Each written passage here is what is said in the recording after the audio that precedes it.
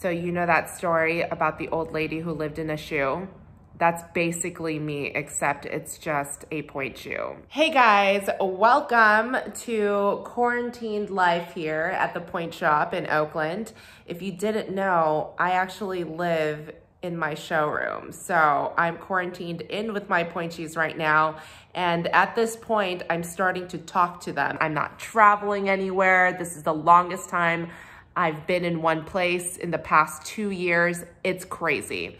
But anyway, I decided that I was gonna talk about uh, different types of pointe shoes today. And today we're gonna start out with Grishko slash Nikolay. Um, they're basically the same thing. And let me just tell you a brief history of what's going on with Grishko and Nikolay because a lot of people are confused. Mr. Grishko, he is a human, he's a person.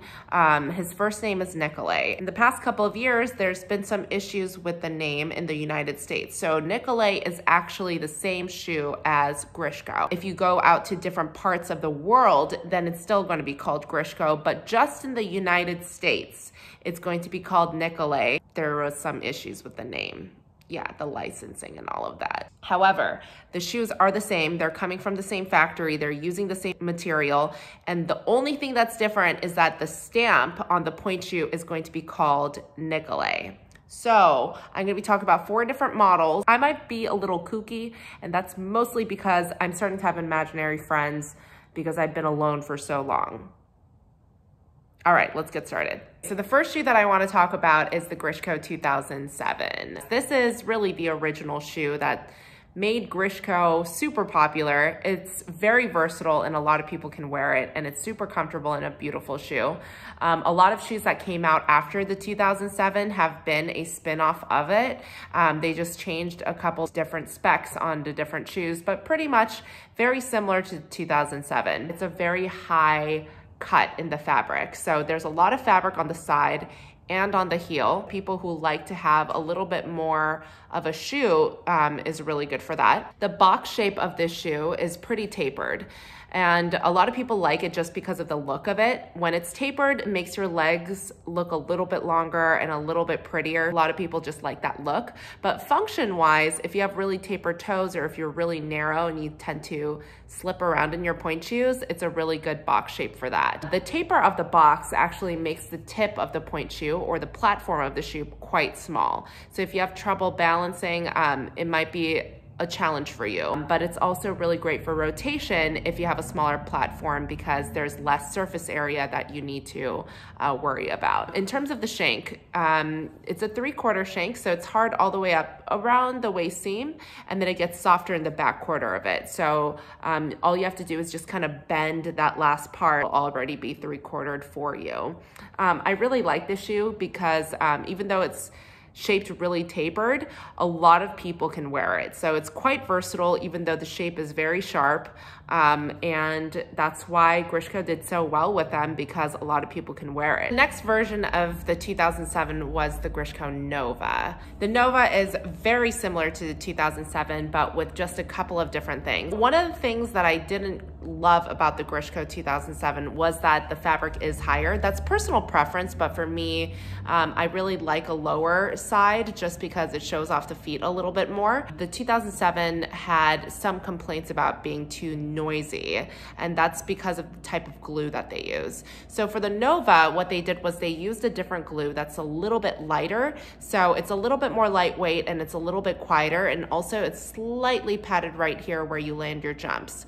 Um, the shape is very similar. It's still very tapered, but it has a slightly wider platform, so it's a little bit easier to balance in. Uh, the fabric is cut a little bit lower on the side and on the heel so that it shows off your feet a little bit more, and it kept the three-quarter shank so it still bends right there on the side. So overall, pretty similar shoe. A couple of different features that makes the shoe a little bit more moldable, it's a little bit quieter and it shows off your feet just a little bit more. The next shoe is the Allure or the Dream Pointe. So again, this has two different names depending on where you purchase them, but it's basically the same shoe. Again, the similar shape as the 2007, so it's still the pretty tapered box, but it is very pre-arched right here. So it almost looks like a seven. I've talked about this before um, in a different point to your review, but this pre-arch right here, it helps you get over your box a little bit better. So if you're in the 2007 or the Nova and you find it difficult for you to get over your shoes, but if you wear something too soft, it breaks too quickly, this might be the answer for you because it's just a different shape and it pushes you over to the end of the platform right here, but it doesn't break um, as quickly as like a softer shoe. They use slightly different material on this shoe. Again, it's a little bit more upgraded than the 2007 or the Nova because it, they use this really, really soft fabric on the inside. It's like really comfortable and cushy.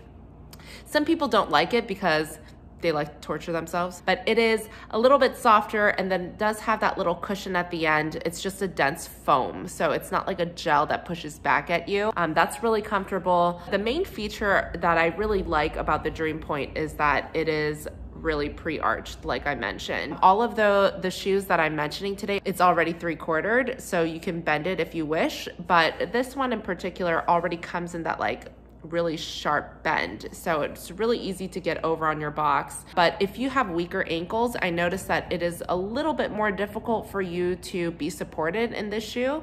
So if you have problems with wobbly ankles, then um, this might be a little bit of a challenge for you. So be careful with that. The last point I want to talk to you about today is uh, the Smart Pointe. And I have to be honest with you, I don't know this shoe as well just because we haven't had it for a long time and then we stopped fitting pointe shoes um, because of the quarantine. Uh, what I noticed about this shoe is that it is very lightweight. So they're using a type of glue that is very malleable and very soft and very comfortable. I did notice that the shape of the shoe is actually a little bit different than the other three models. So it doesn't follow the same 2007 shape. So even though it is quite tapered, the platform is much wider and it almost has like this pretty heart-shaped box. It is a little bit wider and more generous in the box. It's a little bit roomier in this shoe. And what I really like about this shoe is this little swoop that they did. So it's lower on the waist seam and then it comes up higher in the heel. This is a custom that a lot of professionals do anyway. They cut down the sides and then they bring up the heel a little bit more so that it grips onto your heel a little bit better. But I really like that shape just looking at the shoe, I think it's such a pretty shoe. And I'm really excited to fit more with these, but I think the sizing is a little bit different than the other shoes. So most Grishko pointe shoe models or Nikolay pointe shoe models are available in sizes one to nine, and the, the widths are from one to five. So it has a pretty big range of sizes. And um, even within the different models in the same brand, they could have different sizing. So you definitely want to get fitted for these. Overall, I think this shoe is just so well made. They do an amazing job and the quality is just really beautiful. I'm a big fan of this company. If you guys have any questions about these shoes, uh, let me know. And if you want me to do any more pointe shoe reviews, let me know what you're curious about because we're all stuck in here together. Stay safe. Bye guys.